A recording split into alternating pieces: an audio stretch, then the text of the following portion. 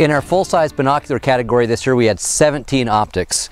This is uh, the Alpen XP Extreme. I just want to talk a little bit about this. $300 binocular. There's a lot going on for it. The test team loved the eye cups, big old clicking diopter, real positive adjustments. But the main thing was the image, as ever with the binocular. A good image with great contrast, really good edge clarity, and in a lightweight platform. This is an 8x42.